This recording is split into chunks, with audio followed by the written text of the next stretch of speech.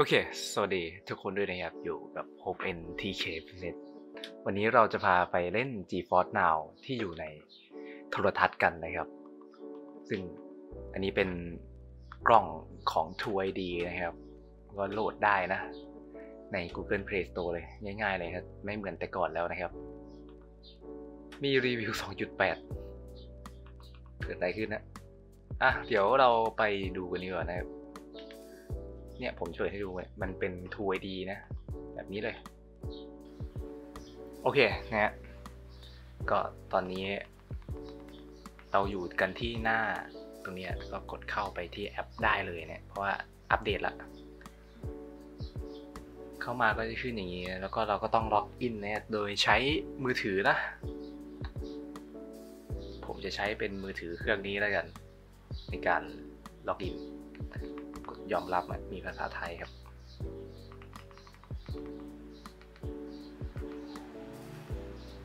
เข้าไป ซึ่งถ้าอยากจะใช้เนี่ยนี่ไงต้องไปล็อกอินนะผมก็จะสแกน QR code นั่นเองนะครับ ติดไหมเนี่ย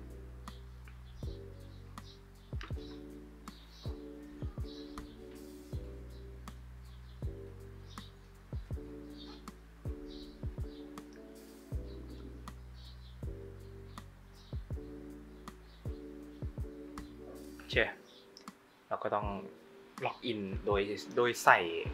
รหัส password ของเราเนี่ยตามบัญชีที่ใช้เลยเพราะว่ามันให้เลือกอยู่แล้วเนี่ยสำหรับในตัวของแอปนะครับ มันให้เลือกนะครับว่าเราจะใช้แบบล็อกอินในแบบไหนนะครับ ก็ถือว่าดีเลย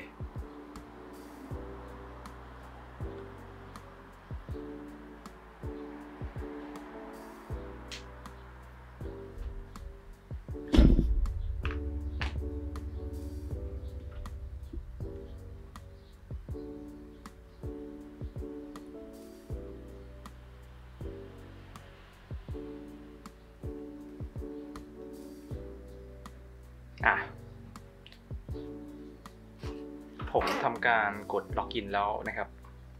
ผมจะใช้เซิร์ฟเวอร์ไทยนะ หลังจากที่ทุกคนรู้ว่ามันเป็นเซิร์ฟเวอร์ที่ดีที่สุดนะเวลานี้นะครับ เนี่ยผมเชื่อมต่อไว้แล้วนะครับ ว่าเป็นเกมอะไรบ้าง เดี๋ยวเรามา setting กันนะครับ ผมเชื่อมต่อเป็นอินเทอร์เน็ต5 GHz เนี่ยอาจจะเร็วนะ Ultimate pack Ultimate เกิดเวลา 96 ชั่วโมงนะไม่ค่อยได้เล่นเลย นี่ฮะภาษา คุณภาพอะคุณภาพอ่าผมจะปรับ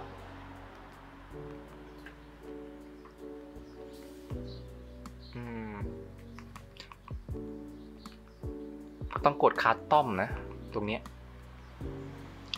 กำหนดเองบิลเลตสูงสุดผมขอปรับเป็นเต็มที่เลยแล้วเพราะว่ายังไงก็ดีอยู่แล้ว น็ต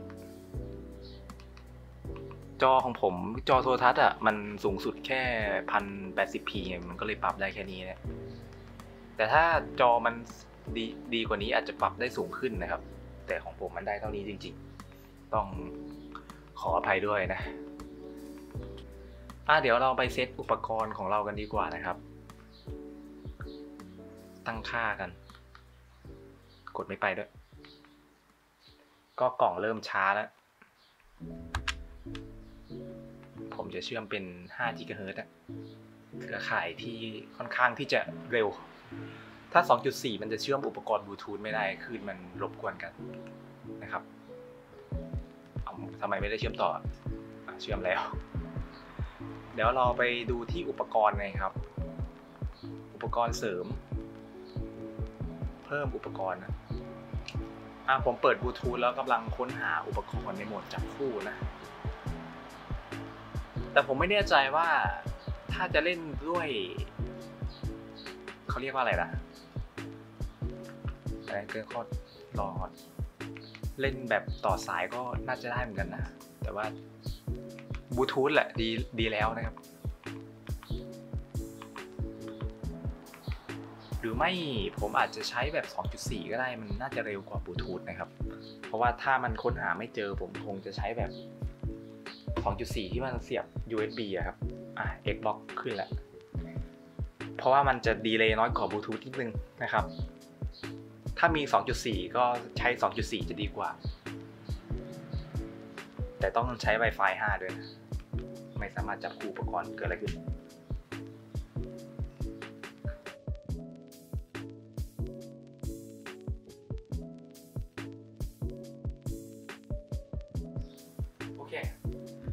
ต่อตัวรับสัญญาณ 2.4 GHz ไว้แล้วนะครับ เพราะว่าเพราะฉะนั้นผมจะเปลี่ยนจอยของเราเนี่ย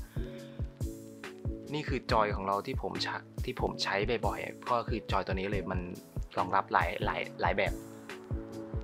มันรองรับการเชื่อมต่อสามสามแบบนะ แล้วก็โหมดการเชื่อมต่อมันเยอะดี เพราะฉะนั้นผมจะเชื่อมเป็น 2.4 นะครับ ผมเชื่อมเป็นสัญญาณ 2.4 แล้วนะ แล้วก็ใช้ได้ใช้ได้อะจอยใช้ได้แล้วก็คือแบบดีเลย์น้อยน้อยกว่าบลูทูธนะครับ โอเค ถือว่าดีเลย ถ้าถ้า 2.4 ได้ก็ 2.4 อะ ลองอีกครั้งหนึ่งเรามาเทสใหม่ เมื่อกี้ผมใช้เป็น 2.4 อาจจะสับสนที่ผมพูดไปเนี่ย คือมันเป็นตัวรับสัญญาณคลื่น 2.4 อันนี้ก็ไม่มีปัญหาครับสำหรับ อินเทอร์เน็ตของของเรา เรามาเล่นกันนะเกมไหนดี เอาเป็นเกม Forza Horizon ไฟแล้วกันเกมแข่งรถที่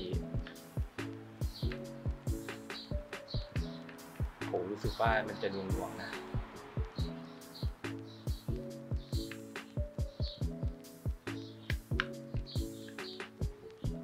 โอ้ยโอ้ยโอ้ย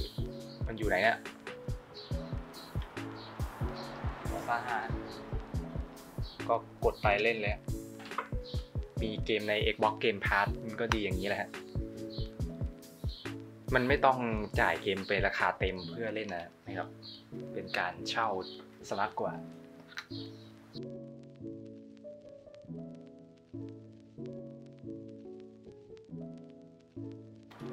วิธีก็กดปุ่ม start ค้างอะ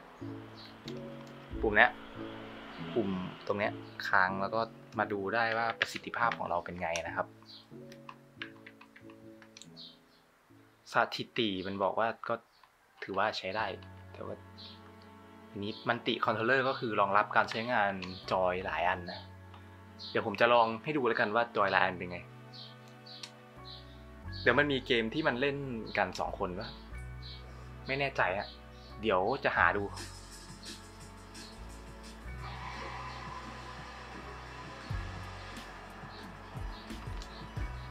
บนด์วิดต์ต่ำเกิดอะไรขึ้นอะ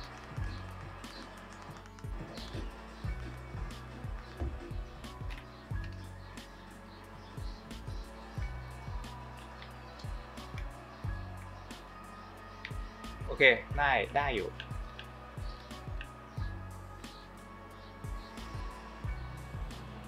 อ๋อว่าอยู่ทำไมผมขับไม่ได้ผม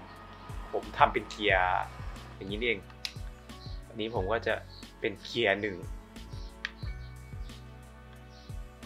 เคเสียงหาย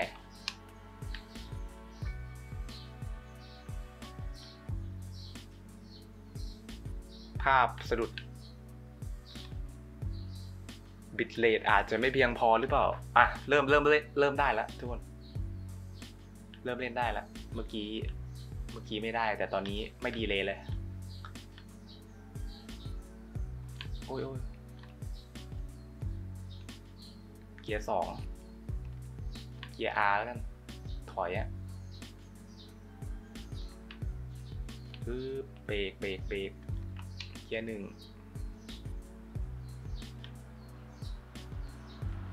เปลี่ยนเกียร์เปลี่ยนเกียร์แต่เสียงหายไปทุกคนเสียงหายแต่มันลื่นขึ้นอะแต่ถ้ามีเสียงมันไม่ลื่นคืออะไรเนี่ยเราเราไปเกมอื่นดีกว่าน่าจะไม่ได้ผลนะเกมเนี้ยเกมนี้เราไม่ดีเลยดีเลยอะผมว่าควรตั้งค่าบิตเรทอัตโนมัติน่าจะโอเคกว่านะ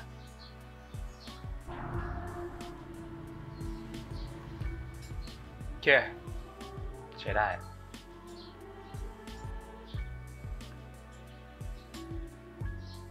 มา new game กันดีกว่า ภาษาอังกฤษนะกราฟิก full screen full HD อะ DLSS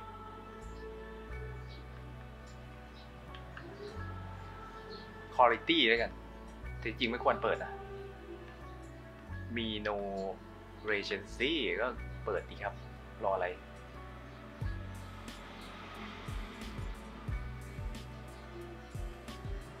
กราฟิก preset เป็น medium ผมไม่ต้องการนะผมอันต้าไปเลยน่าจะไหวนะ ไป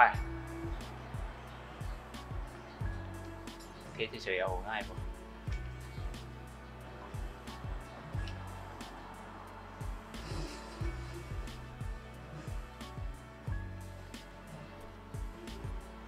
จอโทรทัศน์ก็น่าจะพังอะ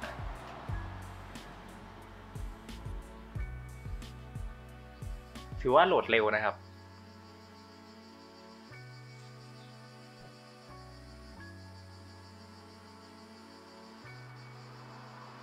เคภาพสะดุดเล็กน้อย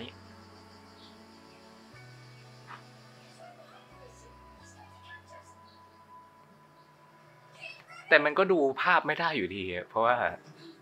มันไม่ได้เป็นแบบเขาเรียกว่าอะไรนะผมขอปิดเสียงก่อน มันก็ไม่ได้เป็นภาพที่มันเป็นอยู่ที่อัดผ่าน capture card อะเราก็ไม่สามารถรู้ความชัดหรือว่าภาพมันแตกแค่ไหนนะครับ เพราะว่าผมตอนนี้ผมก็อยู่ไกลด้วย จากที่เห็นเนี่ยเดี๋ยวขอ skip เลยกัน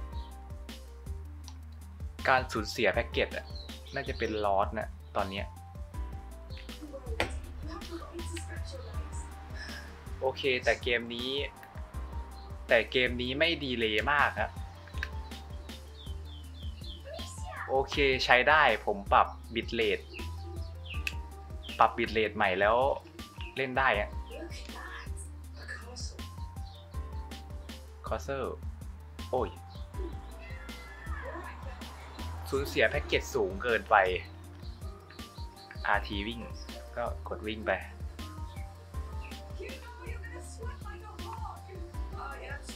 มันประมาณนี้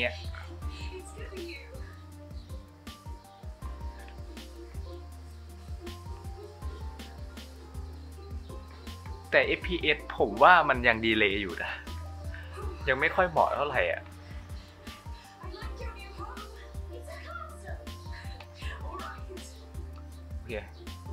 ประมาณนี้ทุกคน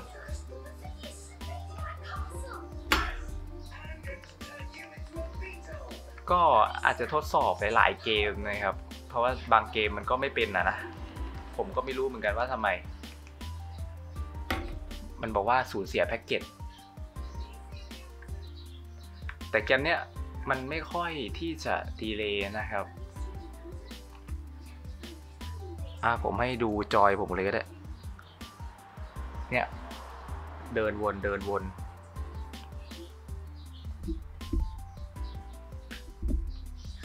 อันนี้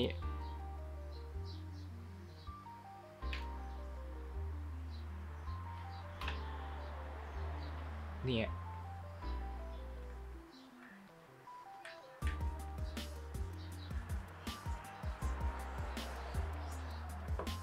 ประมาณนี้แล้วกันนะทุกคน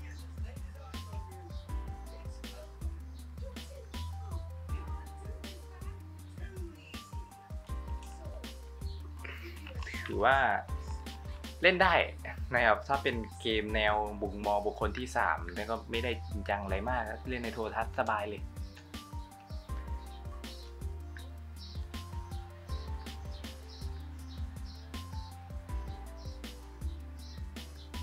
เล่นซ่อนแอบอะ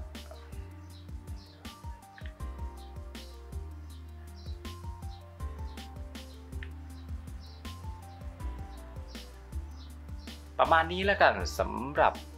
G Force Now ที่อยู่ในโทรทัศน์หรือกล่อง Android TV อย่าง True ID Box ของเราเนี่ยก็ก็คงก็ต้องทดสอบให้เยอะกว่านี้นะครับ ผมก็คงจะตัดสินไม่ได้ว่ามันเป็นยังไงบ้างนะครับ ตอนเนี้ยว่าผมยังไม่ได้ใช้งานเยอะเหมือนในโทรศัพท์นะครับ ประบาดดีแล้วกัน ก็วิธีเข้าก็ถือว่า easy อะมีแอปใน Google Play Store แล้ว เพราะฉะนั้นก็เข้าง่ายกว่าเดิมแน่นอนสำหรับการต่อจอยก็น่าก็ต่อได้ทั้งแบบ 2.4 แล้วก็บลูทูธอะแต่แนะนำ2.4อะถ้ามีตัวรับสัญญาณกับ ก็ต่อเป็นเวอร์ชันตัวรับสัญญาณ 2.4 มันจะดีเลย์น้อยกว่าบลูทูธนะครับ ประมาณนี้แล้วกัน ก็ถ้าผิดพลาดประการใดก็ต้องขออภัยทุกคนด้วยไงถ้าชอบคลิปนี้ก็อย่าลืมกดไลค์และกด Subscribe เพื่อเป็นกำลังใจผมทำคลิปวิดีโอต่อไปด้วยครับ เจอใหม่ในคลิปวิดีโอหน้าครับสำหรับวันนี้ สวัสดีครับ